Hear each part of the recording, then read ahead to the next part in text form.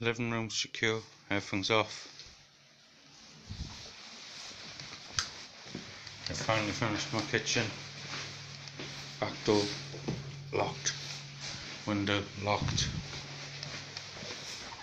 I still have to put everything back in the kitchen. Door locked.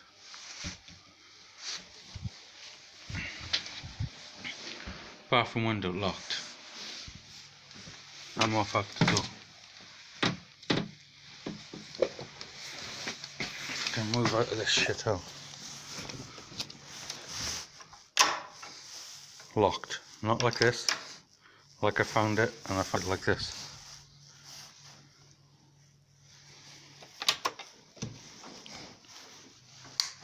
Wi-Fi's off. So yeah, that's basically it. It's definitely locked.